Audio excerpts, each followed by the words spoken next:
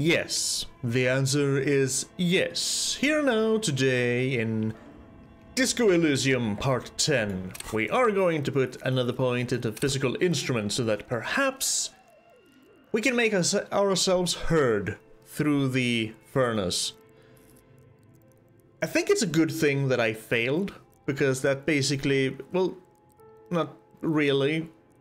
I was gonna say that it basically forces me to put another point into a thing I didn't intend to put a point into, but the I'm not really forced to do it, but I want to do it. So I'm gonna say it's basically for uh, it, it's basically forces me to do it. I'm gonna do it. Cause that's I probably wouldn't have done that on my own, but now I can probably take down people without well arrest people if it ever comes to that. Maybe now we can actually... Thick layer of coal dust covers the furnace, coloring it pitch black. Yeah, maybe now we are strong enough to actually yell. 83%? Freaking come on. Something breaks loose in you. A mighty bellow echoes throughout the chimney's depths. The chatter of tiny voices above suddenly cease. Then... Thank you. Hello? You hear a woman's voice answer. This is the police. Who's there? Hello? Did you say anything? I can't hear you. Please come upstairs. There's a safety curtain on the second floor. I'll open it. Thank you. You hear a low rumble upstairs. The sound of a curtain being pulled aside. After you, officer. Thank you, officer. Detective? Do you want to be called officer or do you want to be called detective, Mr. Kim? Mr. Kitsuragi? Anyway, no more... Can we go up? Thank you. No more beating our fists, knuckles bloody against the security curtain. We can finally find out who the entity is. Definitely a woman. But what is she doing here? Why did she uh, lock herself in here? Oh, this is a nice little studio. This tray is full of dice, colorful polyhedral dice. Hundreds of them. Oh, can I have some? The candy dispenser has been repurposed to contain thousands of dice. Ooh, I like this. Tell me your story. Hello. I'm Nia. Nia. A bird-like woman sits on a throne of fools with emerald light shining through her hair. A throne of fools. Bird-like woman. Is it because of the scarf? The headscarf? Don't see how that would make you bird-like. Maybe, maybe like a parrot, perhaps? And a throne of fools? Uh, I don't get that one. Did you try knocking on my window? I must have missed you. I've been listening to my Melius. Your, your, she taps on her headphones. No, we didn't try the window. Could we have tried the window? I didn't see any windows. So what kind of die are you looking for? Uh, what do you have? D20s, D6s, D12s. I'll even take a D4. I have D8s enough. I have enough D8s. I have enough D6s too. Come to think of it. Maybe a D100? A few D10s? She's got a direct view to the backyard. You should interrogate her about the lynching. Hold on, what do you mean by Milius? Yes, Amelia is like a call-in station. You need a two-way radio to access one. That's why I have these. She pats the headphones on the table. A milieu. Basically, okay. I think I can see where our word milieu came from, which is basically environment. Huh? Mostly, they just teach you to swear in different languages. but some of the stations can be quite interesting. I was so absorbed, I must have missed you knocking. Isn't that basically the first thing you always learn whenever you try and learn a new language? the colorful swear words. Had a few friends uh, uh, on a mud I played back in the back in the old days. Let's just say that back in the old days. A few from the Americas. Uh, we talked, and of course, the first thing they wanted to know was how to curse in Swedish, and I was only too happy to oblige them. Uh, you must have me confused with someone else. I haven't knocked on your window. How would I? It's kind of, it's kind of high up. I could have thrown a stone, I guess. Then how did you get inside? By the south entrance? You know what? It doesn't even matter. What matters is that you're finally here. Let's talk dice. Did you have something specific in mind? Wait, why are you asking me about dice? I'm a novelty dice maker. Tell me the name of your role playing system and I'll make the die you need. That's why you're here, yes? No. As she speaks, her bone like fingers fiddle with a ring. Her bones light, but her hands strong. Okay. Now physical instrument is getting getting some um, getting some uh, talking time. Role playing games? you know the one made by Fortress Accident. Does that count? Hmm. Maybe. Uh, I'm not really sure why I'm here, honestly. Yes, we are. We we we we are sure why we're here. Also, the entity. Let's see what she says. I'm not really sure why I'm here. How strange. Well, if you're interested, my rate is 10 real per set. Unless you want something really unusual. Ooh, that is tempting, but I need my 20 real for tomorrow. But I can probably get 10 real by tomorrow, right? I can probably get 10 real. Do I want a little set of dice? Take a look around and see if there's any particular stone you want to use. The walls around her are covered with rows of precious stones and minerals. It almost looks as if the stones and dice are a natural part of the room, growing out of the shells like stalagmites. Hmm, maybe. It does look cozy, for sure. I see a little, little fan down there. No falsehoods are present. She's a novelty dice maker and doesn't have anything to hide. Ask what you need. How did you become a dice maker? How did I become one? It was a business decision. I was a regular jeweler at first, but that's an unfocused field with too much competition. Mm-hmm. Some of my friends were role players. They asked me to make some polyhedral dice out of cobalt. That was my first order. I grew it from there. I see, but do you like role-playing games yourself? Not especially. Oh. I like working with rare materials and a steady pay. And role players as customers? They're nice people. No, most of them. Most of the people I met are. Some of those nice people have big bucks to spend on novelty items. Oh, that's for sure. I've seen some weird dice. Um, hey, where are we anyway?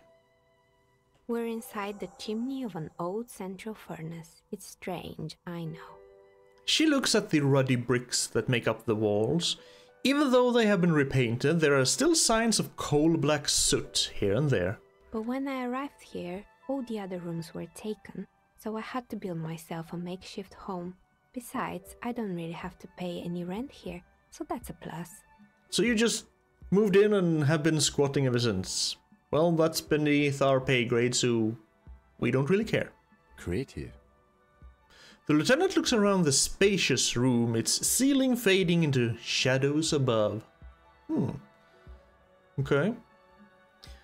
Uh, I've heard that this place is cursed. Did you know that people call it the doomed commercial area? I've heard the stories, but I don't think those stories are true. Wait, how do you explain what happened to all those companies then? It's just capitalism. We only hear about tales of success, so it's often surprising to realize how many ventures actually fail. Yeah, just like the news, we only think that basically everything everywhere is going to crap because good news don't sell. Only bad news does. I'm sure th- things are kind of going to crap here and there, but I think there's more good in the world than we think. We just don't hear about it because rage bait. Keep people divided, keep people angry. Plaisance is the one who sent me. She is convinced that the place is swarming with malicious energies. Plaisance, the bookshop lady? I've heard that her business is doing rather well. Have the energies spared her somehow? Actually, the bookstore probably isn't doing that well. There are hardly any customers, though I did see one standing outside reading, but they didn't buy a book. And she has to exploit her own daughter to keep the company going. All right. But it's not just the bookstore that's still up and running. What about the whirling in rags? Some people say it's part of the building complex. Well, no, the whirling isn't doing very well either. Its uh, waitress just took off and customers have trouble paying bills. And then there is me. She sighs, looking at her messy work table. All kinds of tools lie there scattered from knives to carving files to wire cutters. I've been here for 14 years, selling novelty dice to role playing enthusiasts. Not exactly a million real business idea, yet somehow I've survived despite the talk of malicious energies. Strange, isn't it? Hmm. No, not really. Like we said, some role players have the big bucksy to spend on their hobby. Maybe it's just because she's so talented that she's been able to woo the curse. It's because you're competent and dedicated to your craft. The curse doesn't affect people like you. what, so the curse only affects people with poor work ethics? What you're describing isn't a curse, it's capitalism. Yeah. Kind of is. I'm starting to see that there is no curse, only business decisions and natural market uh, fluctua- fluctuations. Exactly. Truth is always so disappointingly mundane and boring. Sorry. But I'm glad we got this sorted out. Anything else I can help you with today? Yes, a few things. Uh, I'm sorry that I'm shining my flashlight in your face, but I'm unable to put it down right now. That's all she has to say on the subject. She's been thorough and truthful, as far as we can see. As far as we can see, but Shivers is here with a legendary check 70%. I don't think we can make it. What do you know about the man who was lynched behind the whirling in rags? Nothing really. I didn't know him. Okay, but did you see anything? The lieutenant looks at his notebook, then the woman under the large window.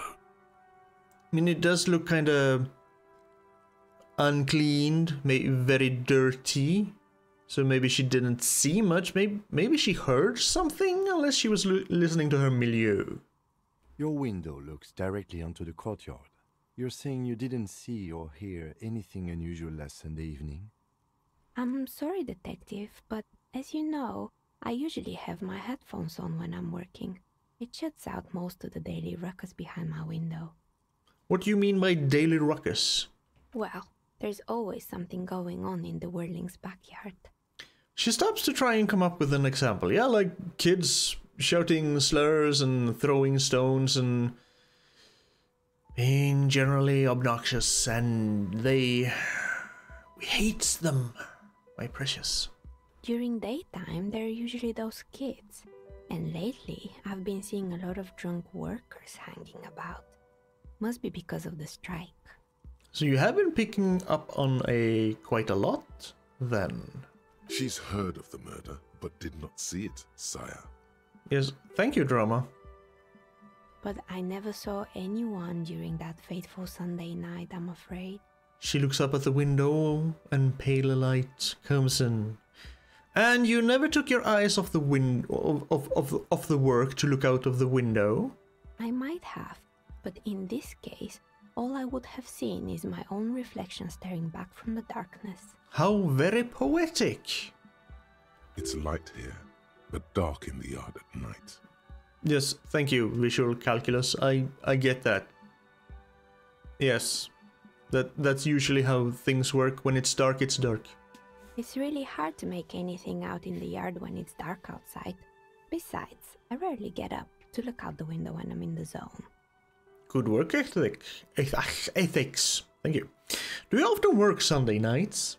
It's an odd profession, making dice for people, but I like it, and I prefer doing this to sitting at home. Hmm. I see. Thank you for your answers. She nods. Anything else, officer? Uh, do you know what happened to other tenants? Everyone else is gone. More or less. Are you interested in anyone specific? She adjusts the yellow scarf that covers her hair. Oh, quite a lot of them spring to mind. Uh, what happened to the gym? It wasn't merely a gym, it was Artemiteps Boxing Club, a community project created to steer at-risk youth away from drugs and crime. Interesting. And who was Artemitep? A kind man from Zemsk. I heard he had some trouble with the law when he was younger, and that's why he wanted to start the gym as his way of giving back. Maybe that's what Kuno needs a community centric boxing club. Hmm, Kuno. Who's Kuno? He's the little ginger gremlin who likes to defile dead bodies. Oh, yes. You mean the kid with the sailor's mouth? Yes, I've heard him yelling profanities in the backyard. She looks out of the window, but it's oddly quiet there at the moment. I think it would take more than a gym to help that kid. Uh, yeah, I think, yeah, I think you're very right. I think Kuno is a lost cause. Let's ju- let's let's knock him out. Uh, give him some cement boots and accidentally drop him in the river. How did that community project work out? It didn't. If anything, it made the youth situation in Martinaise even worse. At some point, someone started a rumor that the punching bag downstairs was full of amphetamines. Uh, so that's why it's kind of broken. You should have known it. Shut up, electrochemistry. you fall for anything as long as there's alcohol or drugs involved. Just get out of here. It's not really full of that. No one would store their drugs like that. No. No. No, definitely definitely not in an active gym.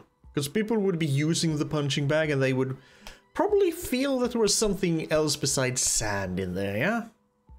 Eventually, the coalition took away the funding and the club went bankrupt.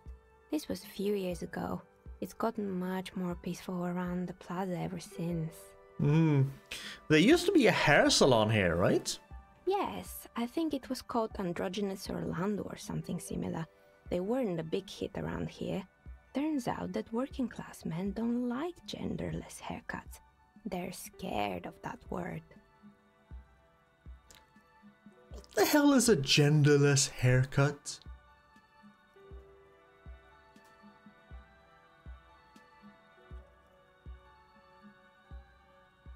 I don't know. I mean, who who who really cares what you do with your hair? It's hair. As long as you don't, don't get too old, it grows back out. Who cares? You wouldn't like it either. The others would laugh at you. Shut up, physical instrument. I'll do whatever the hell I want with my hair.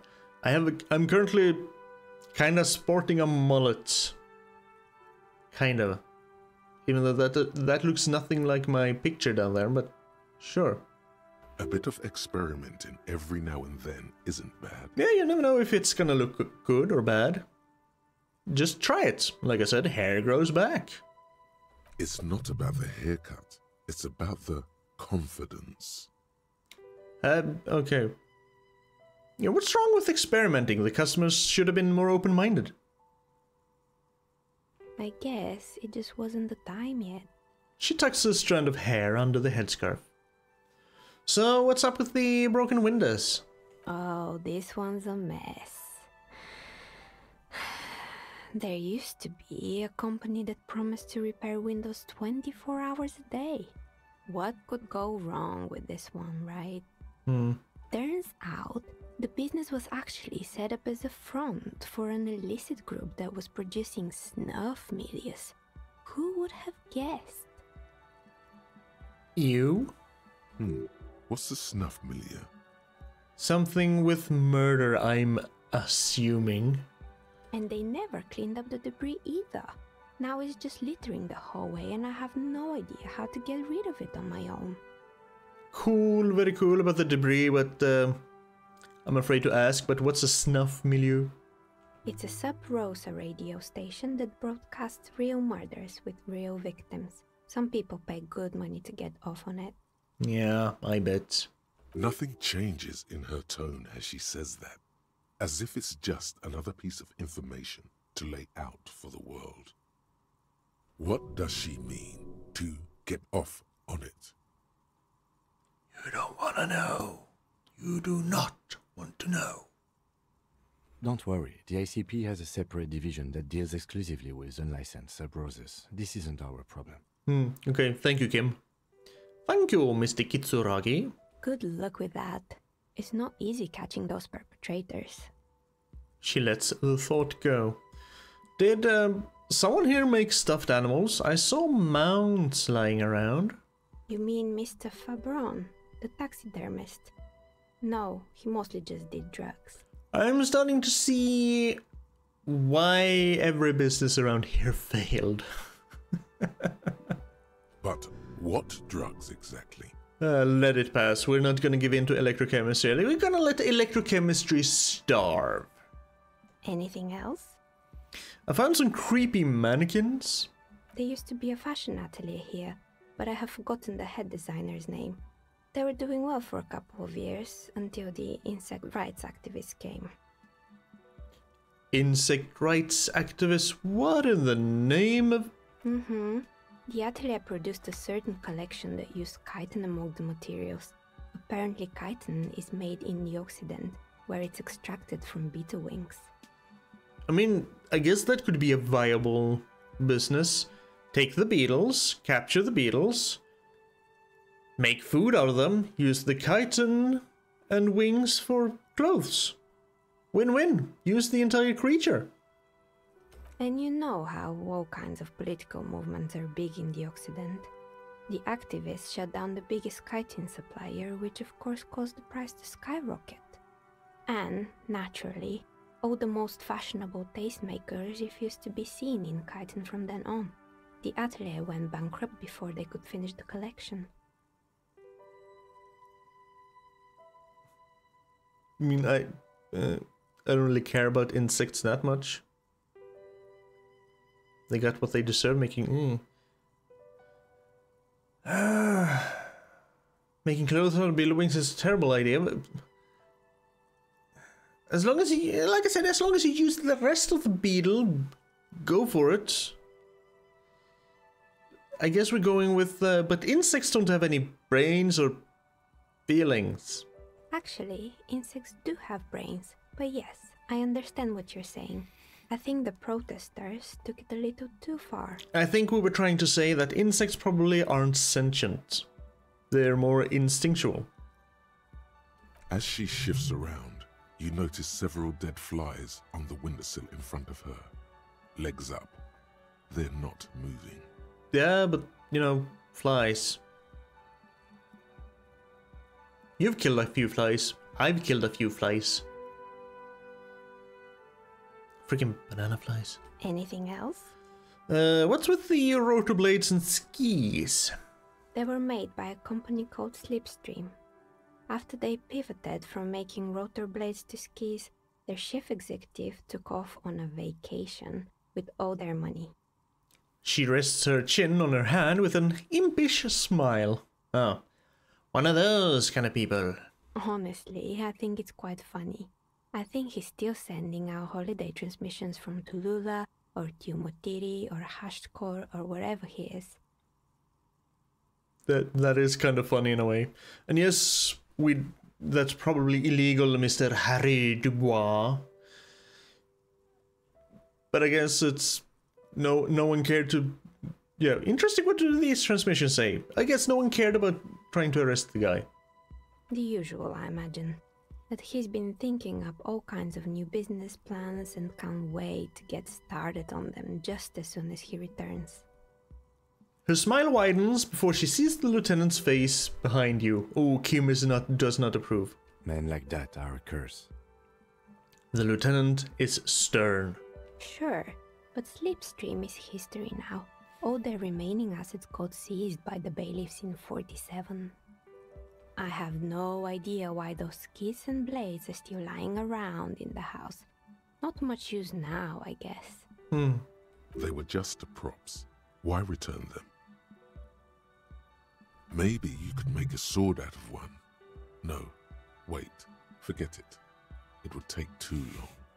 I like the way you think, interfacing. I, I like you. You're you're you're a you're a fun one. Now I found this strange machine. Fortress Accident, the radio game studio. She closes her eyes as some remnant of a memory lights up her face.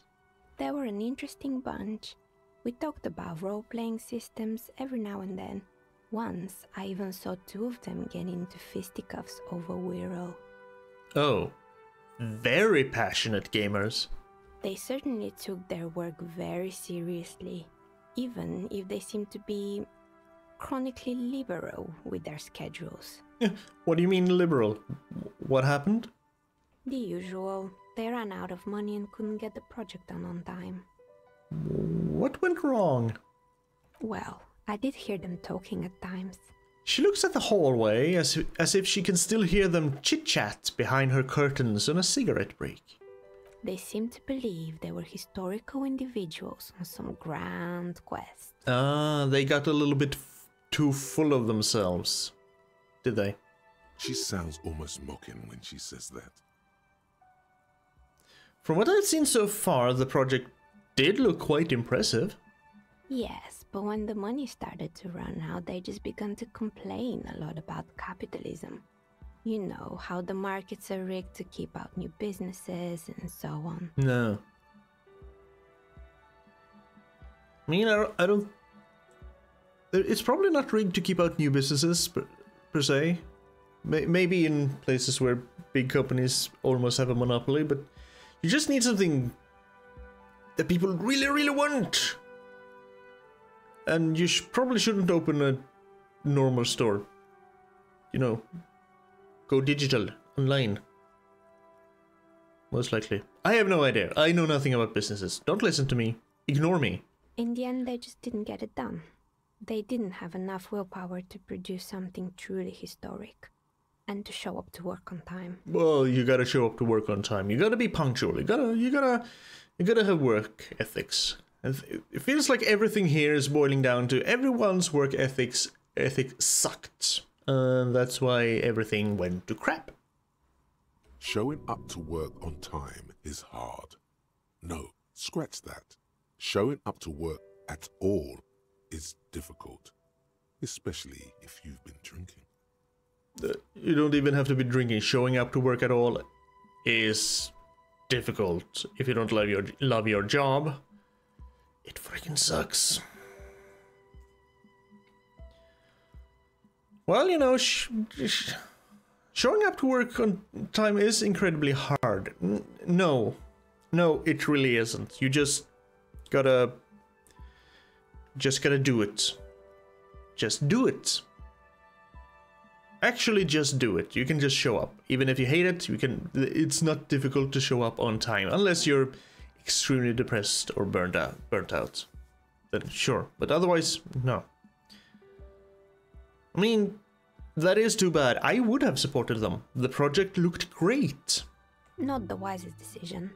You would have lost all your savings. she tosses a pair of dice on the table one of them stops near the edge of the metallic desk The result is one on a 20 sided die. of course it is Anything else? Uh, there was a terrifying taxidermied bear in the cellar. Oh boy, the fabled Revoshow ICT. You're in for a treat here. She smiles and leans closer, hands on her knees like a stand up comedian, ready to tell a story.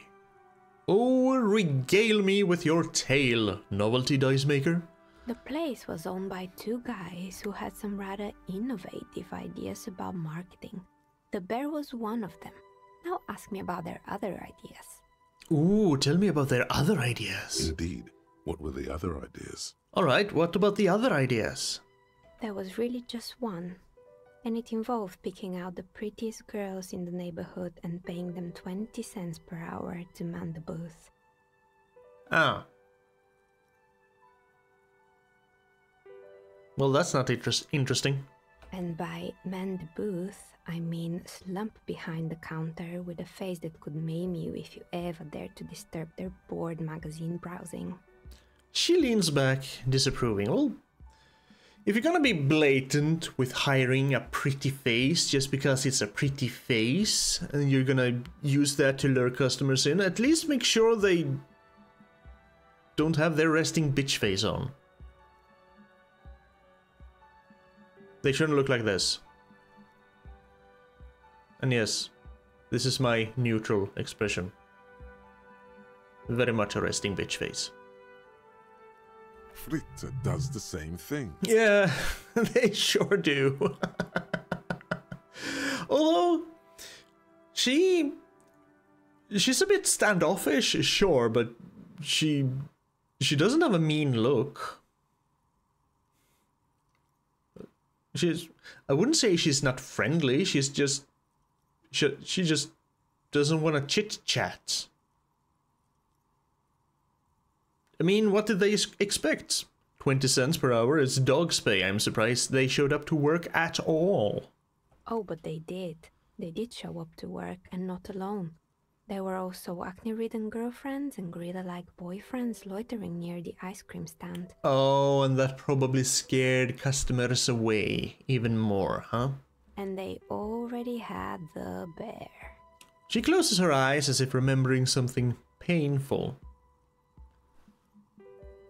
What about the bear? The bear.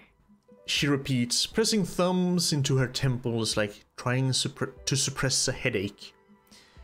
I'm guessing it didn't work out. Of course not. The bear was terrifying.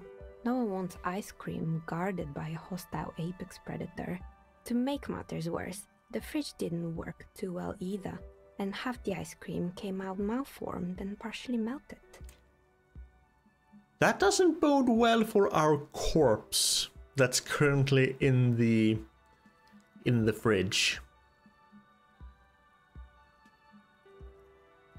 Also, why the hell would you have ice cream in a refrigerator? Wouldn't you want a freezer for ice cream?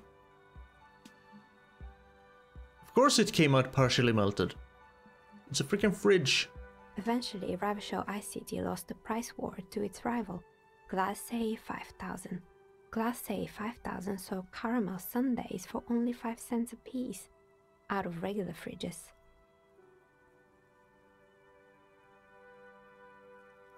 I mean, yeah, it's the market doing its job. Hmm, maybe, because the taxidermist who made the bear definitely wasn't. Doing his job, I mean. Yeah, was that the guy who did the, did did all the drugs? How come? He said that the bear was his vision beast. He said he met his vision beast while high on desiccants. Called it Megatherian. Megatherian. At least it at least it has a cool name. Sounds cool. Megatherian. Megatherian. A mega wild beast. Okay, and what's a mega wild beast? It's an imaginary beast that guides you through life Uh huh. by telling you to do more drugs, mostly. So Harry's spirit animal is what you're saying. A wise and noble beast, guiding you toward the land where the streets are paved with drugs. Of course, you were gonna chime in electrochemistry. I don't have a comment on drugs. Understandable. You shouldn't do them. You're a police officer after all. Yeah. There's a lot of things I shouldn't do as a police officer that I have done. Uh, incidentally, have you seen a police badge or a gun around here somewhere? I still haven't found my badge. Anyway, now you know the story of the fallen ice cream empire. She seems almost sad finishing the story. Some dust beams swirl in the afternoon air. Her eyes follow it idly. Outside it's light. Light scatters from the low hanging cloud cover. There's always the threat of snow. Thank you, Shivers. Anything else? Another failed business, perhaps? I've been here for a long time. I found the building's intercom, but it's not working. Oh, right. I hope you didn't try to ring me. Mm, I don't think so. I, I only tried Revachol Ice, the new one, which didn't work, and nothing else, I think. I think none of those doorbells work, including mine. I'm still in the middle of connecting the wires. Sorry about the confusion. Oh, so I guess we did try yours. It's the empty one. Also, still in the middle of connecting the wires, and you've been here for how many years? The doorbell with the empty name card must belong to her then. So you're telling me that the doorbell with the empty name card was yours? That's right. I haven't even written my name there. As I said, it's quite useless right now. It doesn't work yet. Mm-hmm. I have a few more questions about the building. Sure, I'm listening. Uh, actually, I had other questions. Good. I hope it clarified things a bit. What else? Let me say, I would like to order a die from you. Maybe. Of course. Tell me what you have in mind. Um.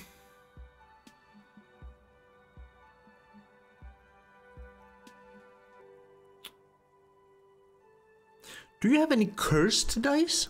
What do you mean by cursed? As cursed as my life. All right.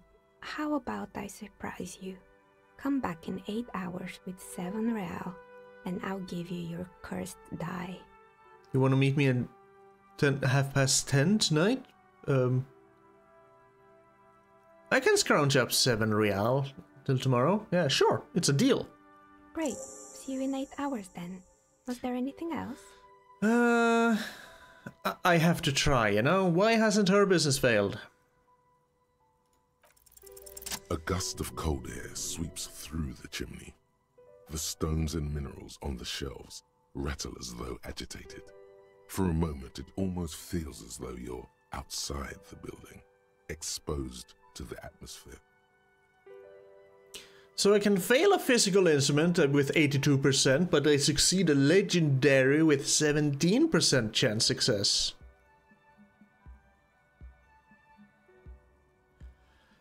Such is the game of RNG.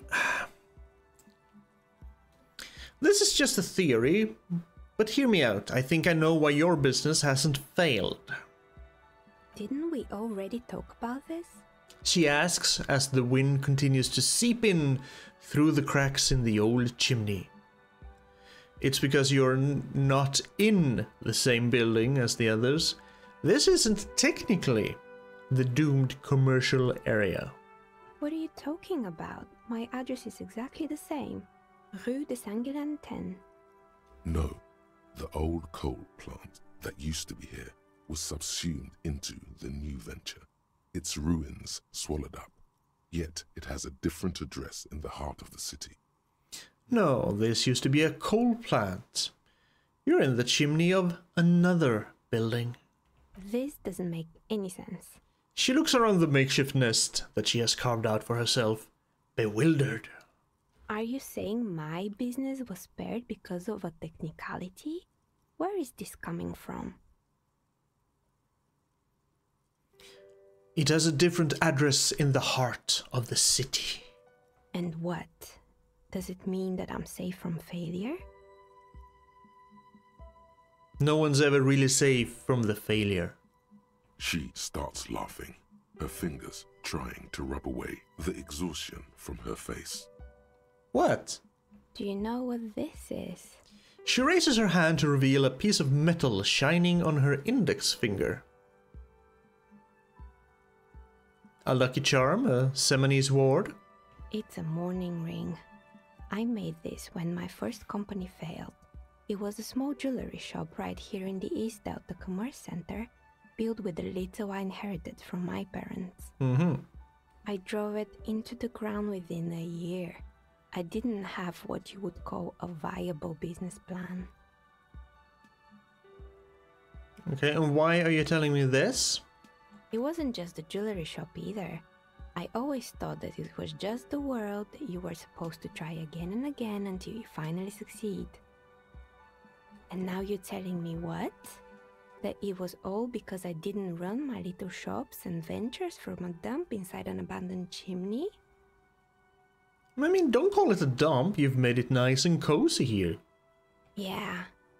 Or maybe it's the entire world that's cursed. It's such a precarious place. Nothing ever works out the way you want it. The entire world is cursed, huh? You know what? Yeah, I, I think I can subscribe to that theory. Yes. The entire world is cursed. Let's go with that. That's why people like role playing games. You can be whoever you want to be, you can try again. Still, there is something inherently violent even about dice rolls. Depends on how hard you chuck 'em. It's like every time you cast a die, something disappears. Some alternative ending or an entirely different world. She picks up, picks up a pair of dice from the table and examines them under the light. That's a rather philosophical stance. Every time you cast a die, something disappears.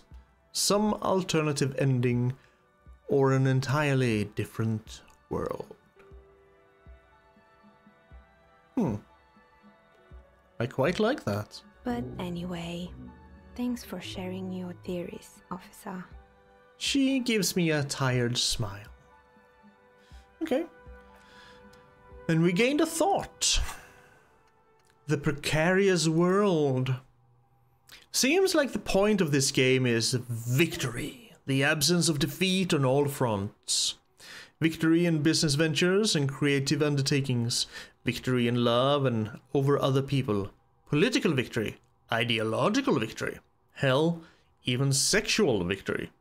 Definitely a lot of object based victories too, having things and not losing them. One problem though not a lot of victors in sight. Everyone's mostly losing. Why is that? And how do you not lose? Temporary research bonus all red checks fail.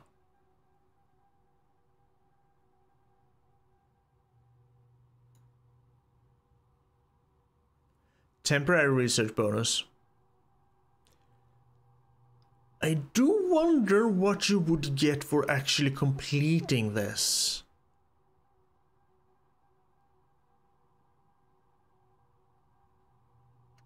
Okay. I'm actually gonna unlock another slot so I can put in the thought. I don't... I could just forget about this one. But let's keep it for now. Because whether I spend a point to forget the thought or just spend another point to unlock for a new thought. I'm gonna I'm gonna save first. Because I haven't messed with this. So if I it doesn't matter where the thoughts go, right? If I just unlock this one and then we think about the precarious world.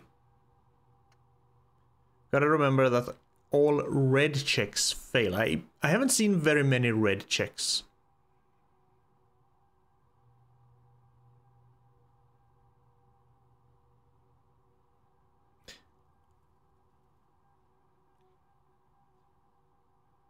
I do have to go talk to the the um, lorry driver who's having a has who has a shop Hopefully he doesn't have a red check. You know what? No risk, no reward.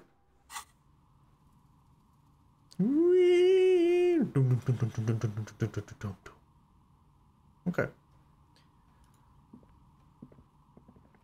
I guess we can go back to Plaisance and tell her that the entity has been um, exercised. Excised? Mm. We still need to find the password for this. I still think that's in the ice cream maker downstairs. For which I needed a super pry bar. Because my current pry bar is no good. No bueno. I have unplugged it though, so maybe a few hours will soften the ice enough that I can use my current crowbar? Come on, Kim, we're running again. Oh, what's this? Shot put ball.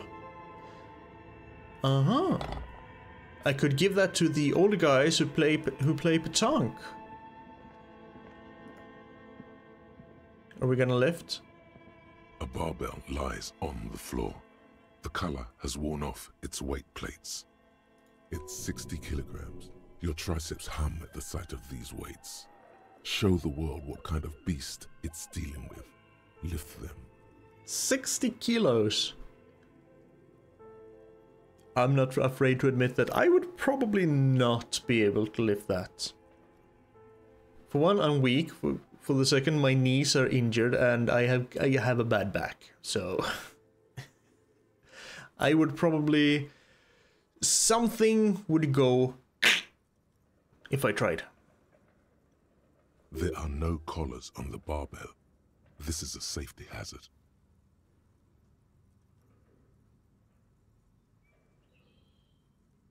Look, Kim, it's a trap. There are no collars on the barbell. You're right. The weight may fall off. Better not touch it then. What kind of bastard would just remove the colors? It should be a felony. It would be a violation of EPIS safety regulations if the gym was still operating, but it isn't. No one's supposed to come here anymore.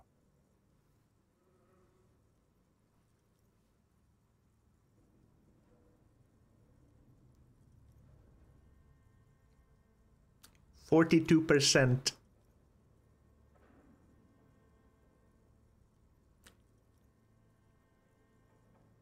I mean, what's the worst that can happen? I lose a life. Screw it. Lift the barbell.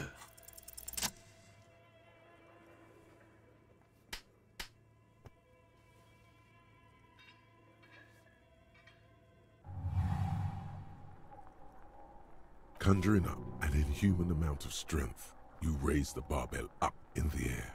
Your biceps tremble, but you're a savage. This is a children's game. Are you actually holding the barbell with your index fingers?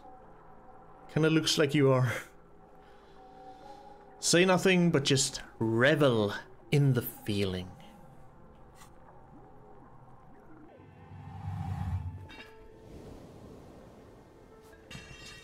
Oh, free morale heal. Nice. A warm wave of accomplishment washes over your head as you drop the barbells to the floor. For a moment, it feels like you're strong enough to succeed at anything you ever set your mind to. Hmm. Good technique.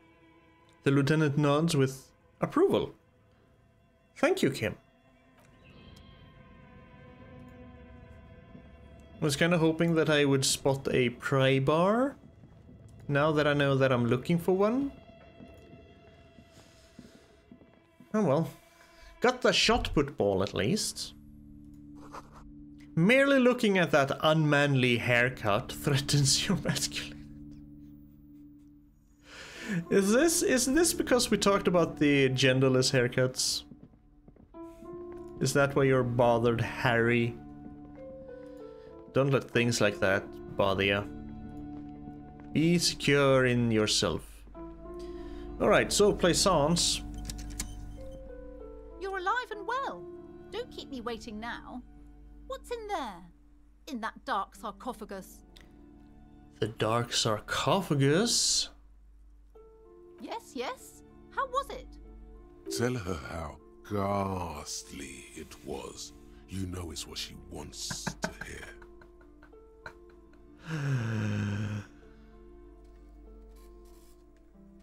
Should I? Mm, I'm so tempted.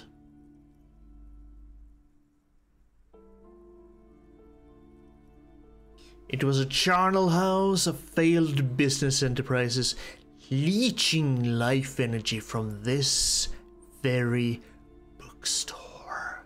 I knew it. Oh, such horrors that have been thrust upon us. A tremor runs through her, and she shakes her head. But what else did you find? Did anything survive? No, of course not. Have you located the entity? I talked to the entity you told me about. Her name is Neha, and she's a novelty dice maker. A novelty dice maker? Well, spit it out. Why does she need the dice? For some kind of sorcery? Oh, Sometimes they use the ankle bones of sheep. Oh, you're one of those people. You're one of those people. Okay. Of course you are. Of course you are.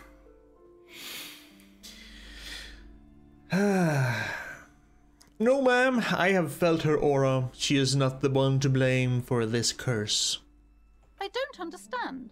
If it's not her, then where is the source of the doom? How did she explain the curse? She looks perplexed. The narrative she's built herself, it does need tearing down. She's squeezing on the pendant too tight. A drop of blood in her palm. To hell with it. Perchance you ought to just lie, sire. Um. I, I I'm not gonna lie to her.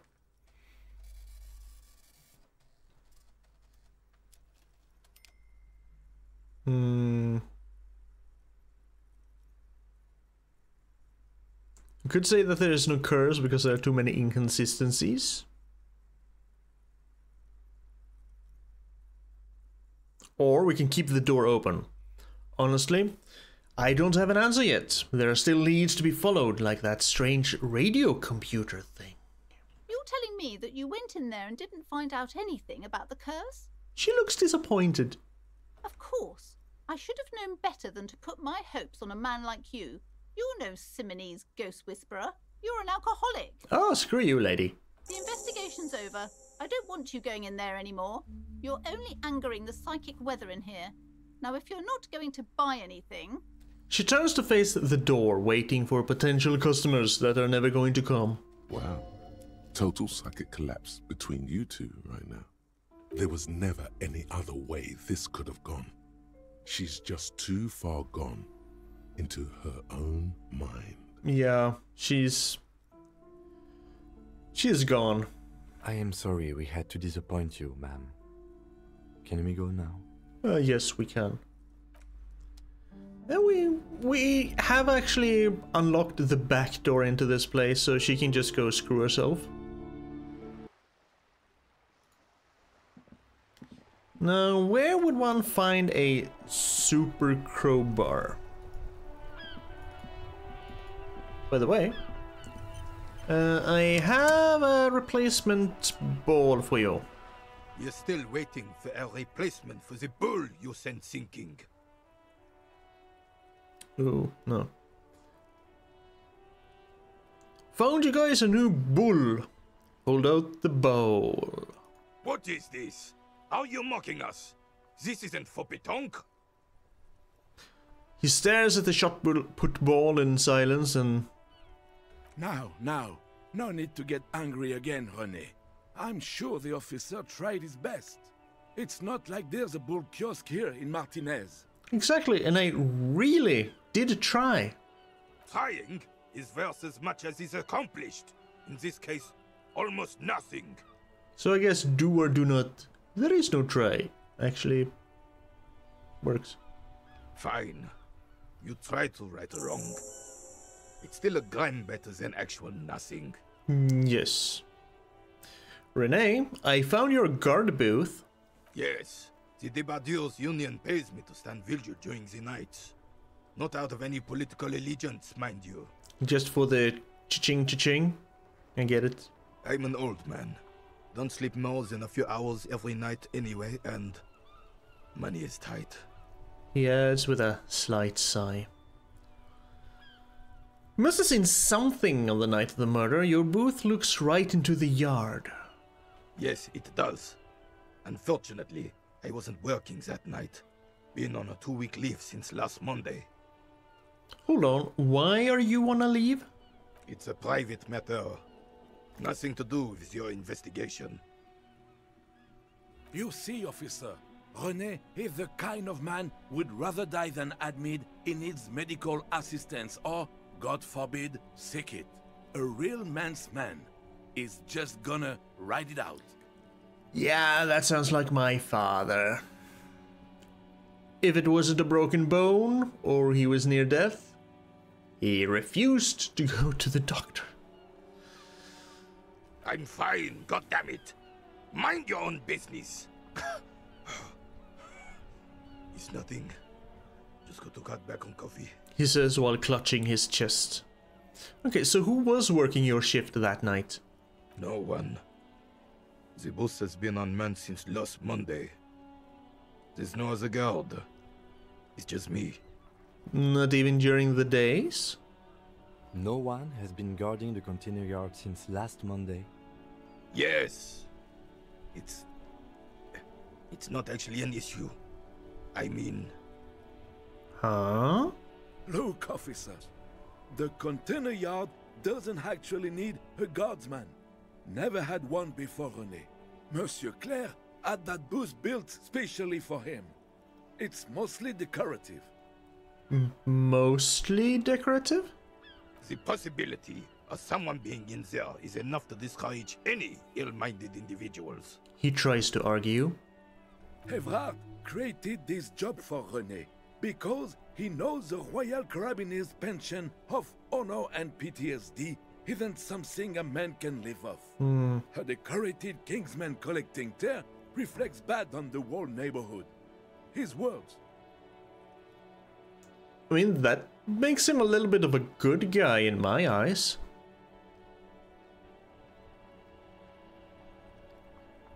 Um, I mean, Evrart gets it. Big guys looking after the small and everyone working together. I love it. René is but one man. We need a program. Get all the elderly back in the job market. Keep folks motivated if they want to. René should rent out his services, invest the profit, get a few more guys, expand and repeat. Wage work is a dead end. There's absolutely nothing wrong with tear collecting. It's my side thing too. Could you, could you, could you, could you?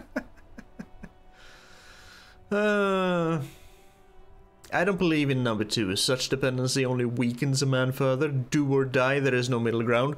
Sometimes we all need a little little help. And um, those who say differently, uh, liars. We all need a little help now and then.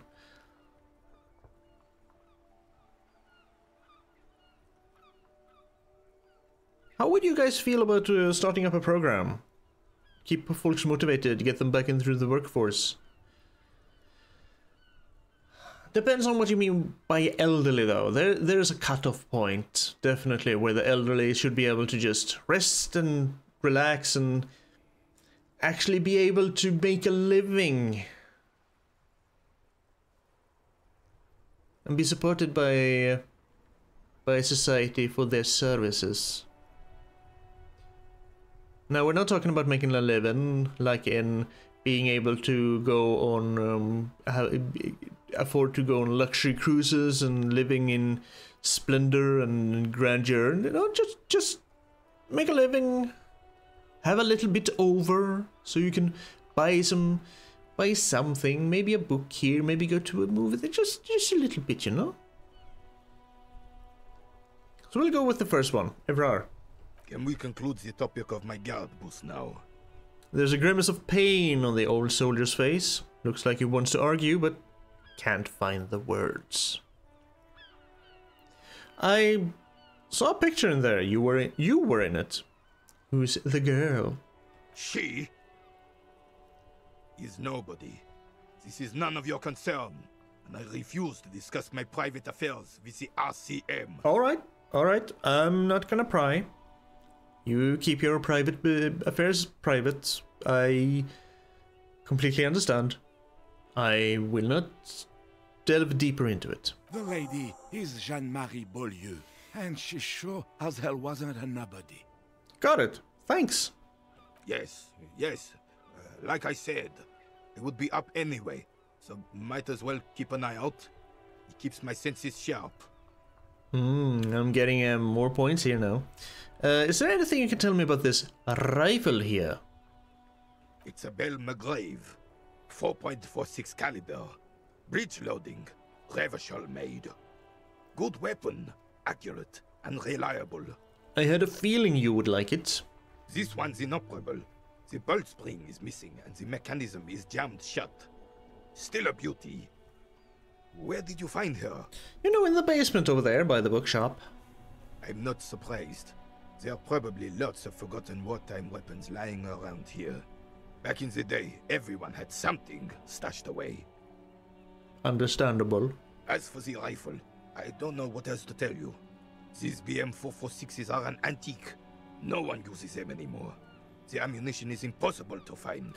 Maybe I should just go sell it then? Okay, tr try this composure. I have 28% chance. All you observe is a veteran refusing to let go of the past and his old uniform. This is not uncommon. Okay. This is the uniform of the Royal Carabineers in service of Frissel I, Guillaume Le Million, and the valiant King Philip V before him. I see. Don't you mean Fristel the Fun? Fristel the Fun? You do not speak his name, Craven, although he was a clown. But he was our clown, ours to ridicule, and to mourn. You can't make fun of our of our leader. Only we are allowed to make fun of our leader. Like all the weird memes about the Swedish king. There's something you missed. You'll get to it. Don't worry. Alright, need some more composure. Thank you for your time. We're actually gonna unequip my flashlights. Well, Kim's flashlights. Alright. Now we should go talk to the guy who had a shop. He was up here somewhere. No. Wait, he was round and down here, I think. Down here somewhere. Oh, actually, what's this? An old monument stands in the middle of the traffic island, pointing toward the sea. It looks as if it's been reassembled piece by piece, secured and mounted in the air with the aid of numerous ropes and rods. Who be these? A silver plaque on the statue's pedestal reads, I am Philip III, the Squanderer, the greatest of the Philippian kings of Revachol, son of Philip II, the opulent, father of Philip IV, the insane. Insane, huh? Come on, Encyclopedia. Do your thing. What did this king do? Even by the standards of the Philippian kings, old sumptuous Philip was known for his profligacy. In what way? Well, he blew through the whole national treasury, Oh, starting the decline of one of the penultimate century's greatest superpowers, the suzerain of Revachol. that's kind of impressive, blowing through the entire national treasury. I'm just assuming it's a lot. It was a lot. His own maladministration foreshadowed the fall of the monarchy during the anti-centennial revolution, an end to his family line and the monarchy on the Insulindian Isola. Mm-hmm. How did he manage to blow through the entire national treasury? Stories have it that he had his bedroom converted into a treasure chamber, where he stored unfathomable wealth. Krugerrands, bars of gold, ornate weaponry, armor, and various chalices. Mm-hmm. The only other place I've heard of the I've heard the word Krugerrand is Lethal Weapon 2? I think it was in 2. It's 2 or 3.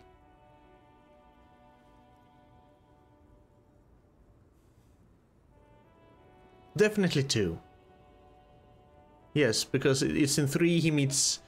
It's in 3 that Riggs meets Lorna, and 2 has the South African people.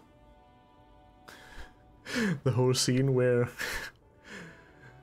they're, they're playing through the skit where Roger wants to move to South Africa and they try to dissuade him.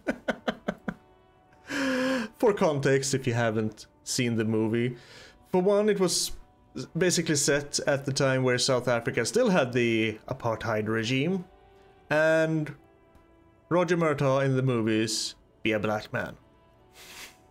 So, yeah. He called it the Sol Auron. It was obscene. There were whispers he slept on a huge pile of gold-dipped feathers, like some obese dragon, instead of a bed, like a normal person. I wouldn't like to sleep on gold. That sounds extremely uncomfortable. Wait, really? There's no way that's true. But wait, you haven't even heard about his fabled cocaine addiction. The what now? You see, old Philippe wasn't just good at squandering the national treasury on gold and ceremonial weaponry, he was also a prodigious snorter of nose candy. Nose candy. Not just any nose candy, though. We're talking Royal Philippian Blow, allegedly twice as potent as the stuff you find nowadays, and purple. Philippian cocaine was purple. Purple. Okay, what is nose candy? Cocaine. Oh. So he was addicted to nose candy, a bloated druggie? That's what the revolutionaries said 150 years later. Hmm. Right before they entered out the royal mausoleum and dumped His Majesty's mortal remains in the Insulindian Bay. So they could have just used that as a pretense to actually do what they did. To justify their actions. But yeah, this is quite a lot to process. His Majesty's courtiers said it helped him connect with the higher realms. Uh, uh huh. Okay, where is he buried now? Probably nowhere because they said he was dumped in the Insulindian Bay. Beneath the cold waters of the Insulindian Bay, thrown there by the revolutionaries after they cleaned out the royal mausoleum. Ooh, sorry. A group of marble pleurants still surround the king's vandalized tomb. A deathly cold wind sweeps up candy wrappers and old newspapers. I'm kind of wondering how this statue esque thing stays there. Sure, there there are a few a few lines and such, but this looks looks like it wouldn't really support this weight. Does look cool though, but looks like it like it would fall apart at any moment. Anyway, what happened to the statue? The original was blown apart by communards, then further damaged during the landing of the coalition's airships during the turn of the century revolution when Martinaise was leveled. The communards again. Most historians think the coalition's hasty landing may have ultimately saved the statue. If the communards had more time, they would have reduced it up to even finer pieces. hmm So, who restored the monument? Some years ago, a group of liberal, artistically inclined individuals, designers mostly, thought it would be ironic to restore the statue of the most wasteful ruler of Revachol in the poorest part of the city. Mm-hmm.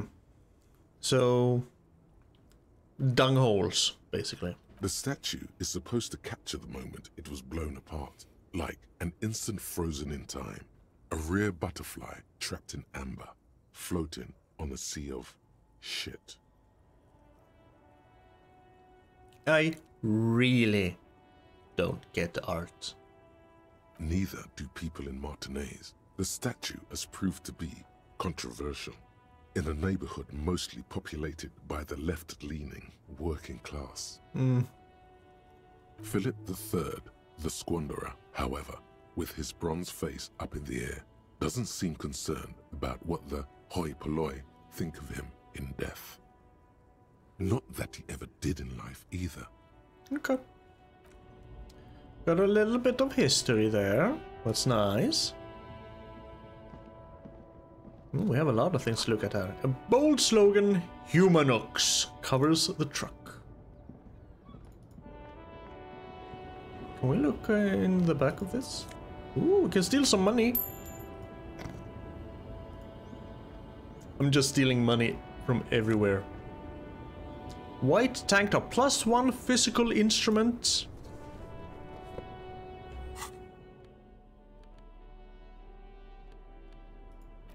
I got an item. Um, I guess I got the gun back after I showed it to him.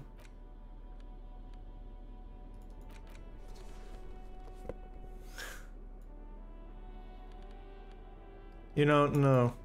We're gonna we're gonna keep the white satin shirt. I prefer that one. Hmm. Ruins full of snow. No one lives here anymore, and I got a skill point for that. Oh, is I did I get experience for that? I have two skill points again. And I kinda thought he was down here. Didn't he sit in the streets somewhere? Or was he even further south then? Yes, down is south for me. Down is south, okay?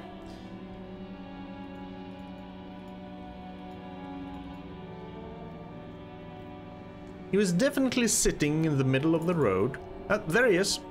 God damn it. What this?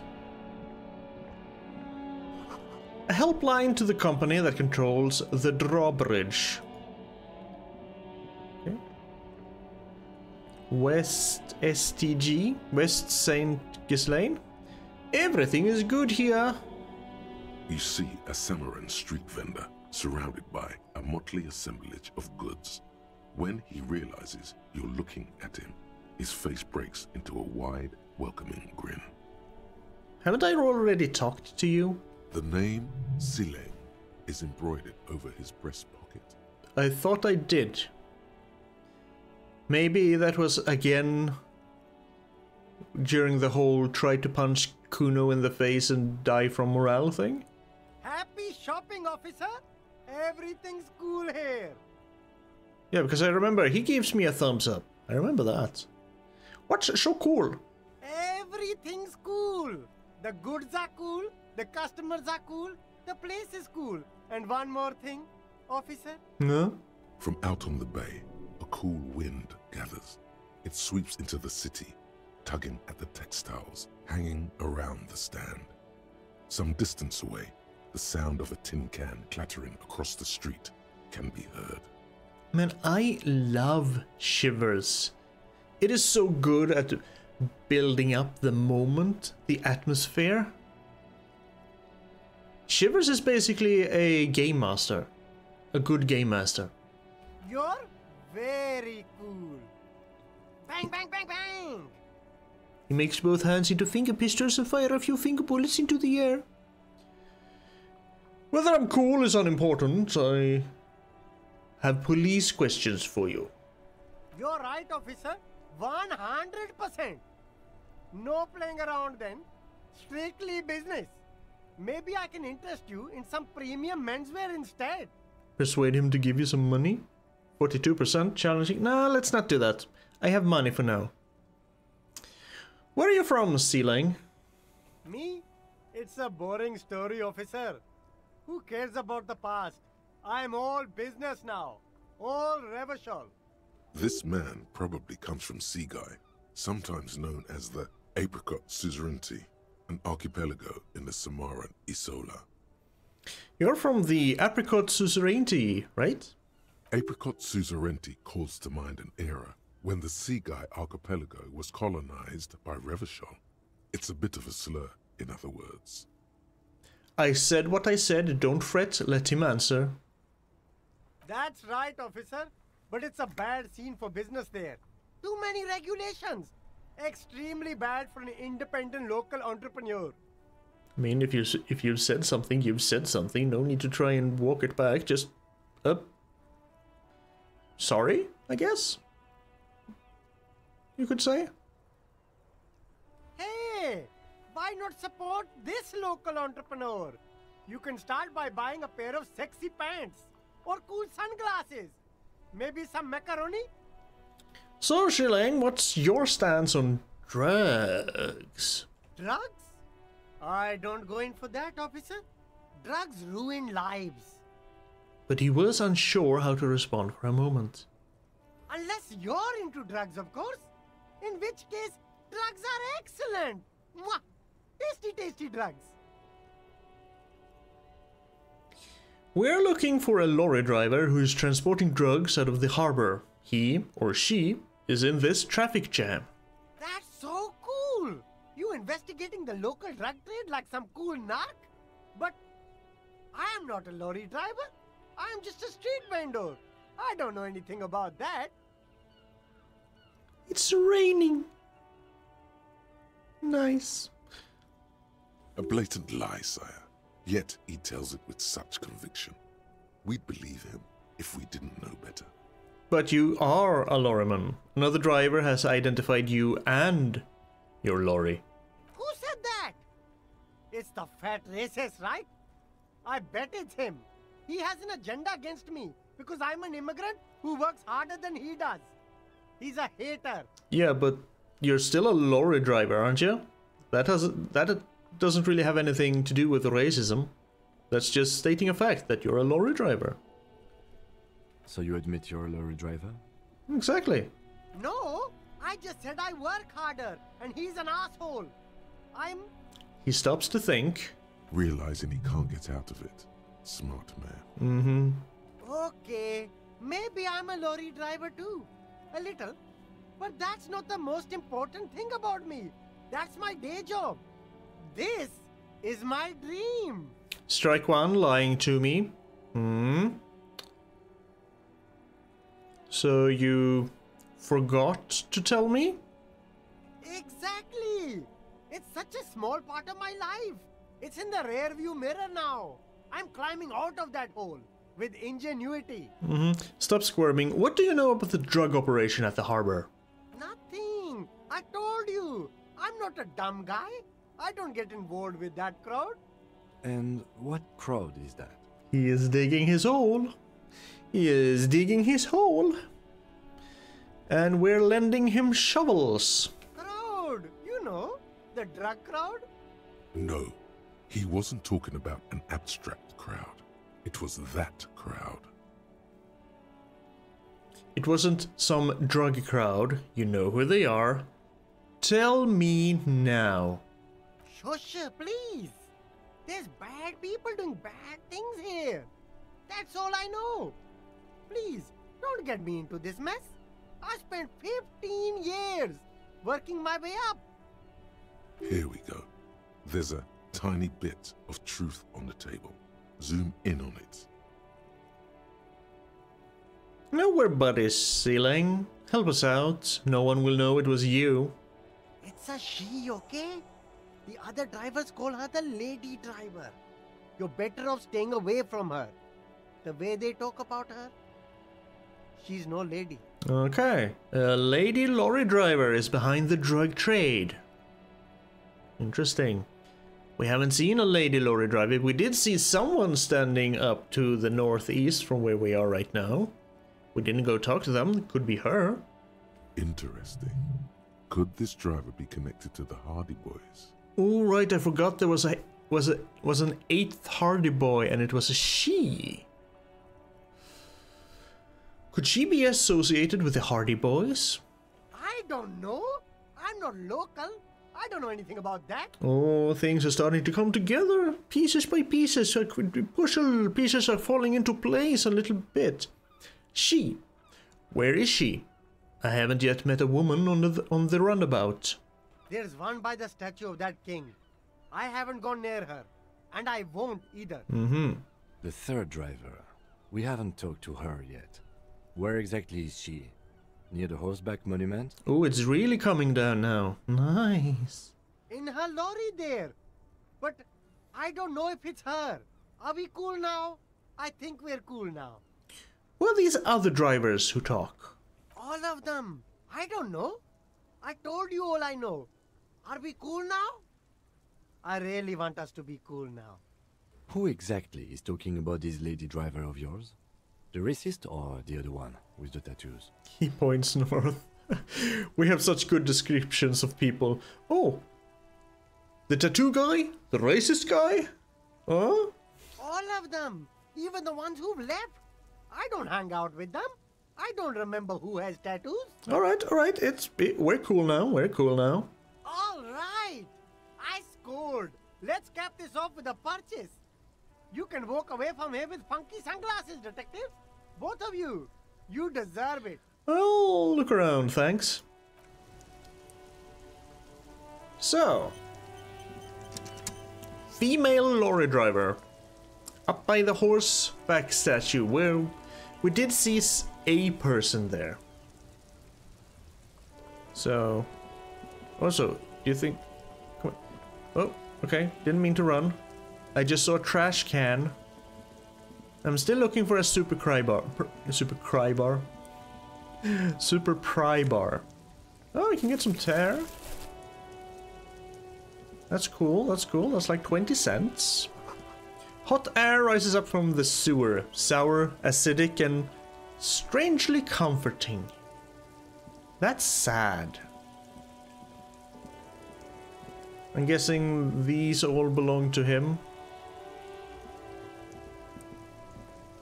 There's a pile of cheap sunglasses in a small box, a variety of shapes and colors.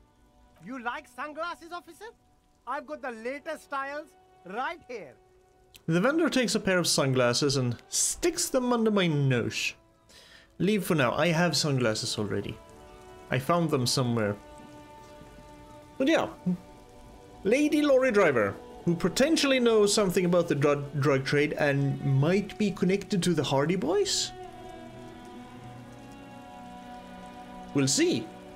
We'll talk to her next time. For now, if you made it this far, thank you so much for being here. Thank you for watching. Thank you. Thank you for making it this far. Remember that you are very much appreciated. So please take care of yourself and stay kind. Be kind. See you next time.